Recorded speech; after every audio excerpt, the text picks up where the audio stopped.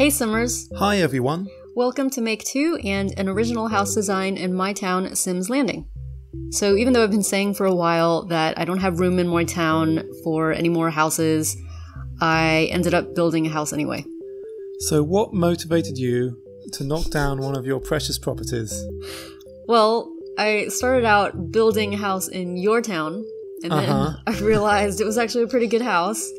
And, well, what I had here originally was a beachside escape, which is one of the pre built houses in the game. And it was sort of, you know, I had made some changes to it, but then, I don't know, I just had it for a while, and I figured I liked this house design better than the beachside escape. So, Basically, you built something in my town, realized it was too good for Sims Peaks, so you moved it to Sims Landing. it's still in Sims Peaks. So, mm, no, it's going to get knocked down soon enough.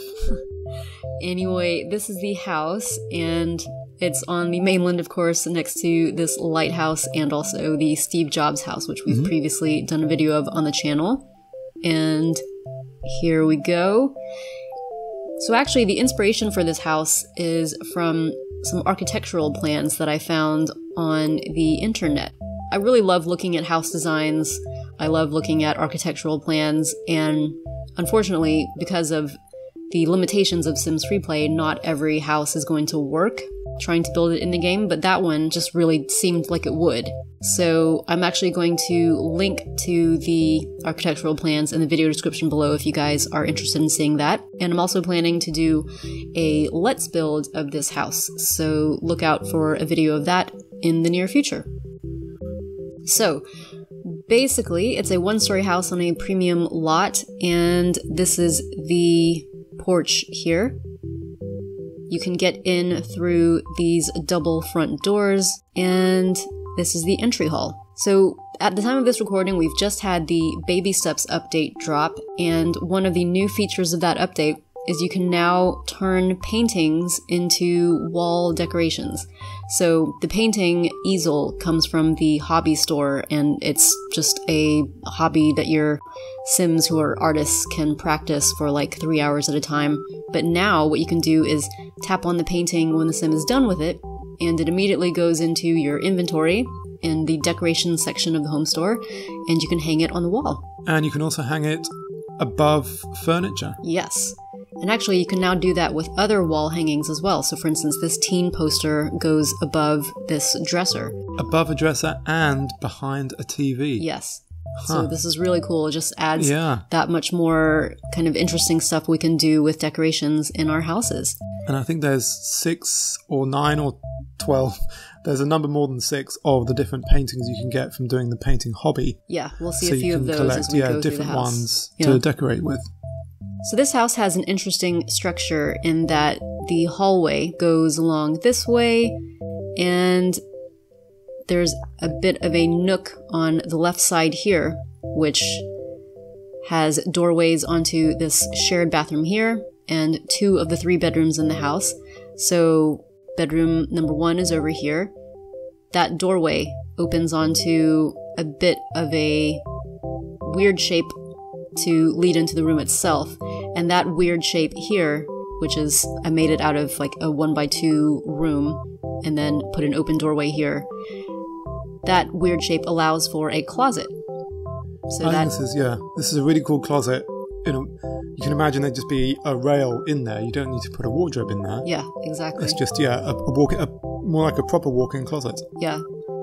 So the Sims who live in this house are a pair of mothers and their teenage daughter. What you'll see here, though, is that the the two kids' bedrooms in the house are both, I would say, geared towards girls. So in my mind, maybe the daughter used to live in this room, which is a bit younger. Some of the furnishings are for preteens. Yeah.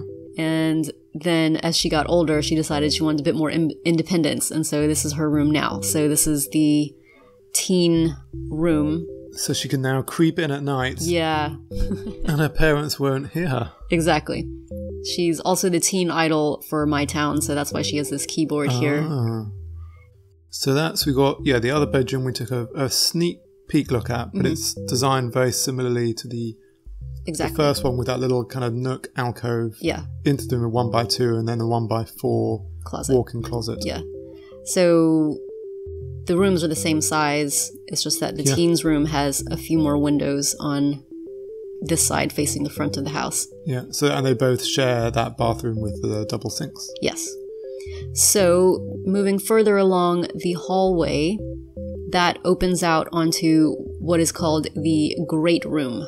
So this is it. It's got some Latin furniture as well as red furniture from the Product Red charity update for Apple users, which is a limited time event a while back. And yeah, I just went for a very big open space. Put the red piano in the corner here because it's a musical family. And that great room opens onto this kitchen here. So the kitchen has these countertops with an island with red stools here. The red stools were from another limited time event. And here is a breakfast nook. I think this is my favorite area of your entire house. Just such a cool design having the wraparound tan sofa and then that big table. Yeah. I know you can't use any of the No. spaces. Can you use the ones nearest the front? no, unfortunately, I, I'm not sure that if. Well, we'll see. Can a sim move there? I don't think that they can. Yeah, I think, I think the sim got gives you those those feet over their head and they refuse to do it. But yeah, but it looks so cool. yeah, I mean, I I, like know the they idea. can't use it, but I think it looks really good. Yeah. So that kitchen opens onto this more formal dining room, which has a few more of the paintings. And again, some red chairs from the Product Red update. That's a nice room. I think the great room is, yeah, my second favorite Mm. place so far. I think it really shows how, with a big, even like a big square room, which is basically what you have, Mhm. with well positioned furniture and putting the right amount of furniture in, it can work really, really well. Yeah, and I just also like that the kitchen is open to it via these doorways. Yeah, So, you know, it's not going to be exactly like the architectural plans that I found, but it was my best approximation of it. Yeah. We had the same with the Steve Jobs house. and Yeah. It's hard to recreate it perfectly. Yeah. But recreating actual houses does actually take up an awful lot of space. Yeah. So that's why this isn't a, this is a three bedroom house. It's not huge, but it takes up most of the premium lots. Yeah. And that's the same for my original uh, dream house and also for our jobs houses. So the great room then goes back onto another small hallway, and off of there is a door to a powder room for guests here, and then the door to the master bedroom, which is here. Ooh, that is a big room. Yeah. So because it's the master bedroom, I figured they should get mm-hmm. a little more room, Obviously, They need lots of running around space. that master bedroom has its own bathroom here with separate toilet from the vanity and shower and bath area hmm and big closet here. And i Oh, had sort of an idea for an extension on the closet which would be for like storage or linens or something like that. And that's really cool. yeah I I. I think the original architectural plans had this master bathroom area configured a little bit differently but it was sort of the best that i could do and i figured would work for the sims in this family and then there's actually a basement to this house which is not part of the original architectural version but i wanted to add some guest rooms so i built a basement for that and the basement also has this extra playroom. It's got exercise equipment, ping pong table, charades, and another TV and couch. Then back here are the two guest bedrooms, guest bathroom in the middle. And I also wanted an office in the house because there wasn't a lot of workspace. So this little room here is just meant to be an office. And then on the other side of the staircase are the requisite laundry room and utility room, which has become a sort of standard feature in many of my basements now. Very nice. So, going back up to the main floor, the living room opens onto a patio here. So basically, the great room is the hub for the entire house. Yeah. Then that patio opens onto a separate pool area. There's also a back door. which oh, can yeah, that, yeah. opens onto a separate yard area. And here is a pool house, I guess you would call it, or just an outdoor house where people can come in, get some shade and refreshments, and also shower and use the toilet. since this is a beach house, you know, it's functions for both the pool and people who've been hanging out on the beach. And before you guys ask, the way that I got stuff out on the beach area outside the fence is through some old glitches in the game, which no longer work, unfortunately. So I think actually in your version, which I built in your town, instead of a separate pool house here, I had a driveway and garage because Yeah. that was what the original architectural plans called for. But given that you get a parking spot here anyway for a car, I decided in my version to just make a separate pool house, which I haven't actually done in any of my houses before. So, Oh, really? yeah. Right, it's the first. Exactly. Hopefully, this has been an interesting house to take a tour of with you guys. And as I said, look out for the Let's Build video, which will be coming to our channel soon. Yep, I think this will be a great one to build because it's got a great flow through the house, lots of space, and just a nice division of different functions Yeah.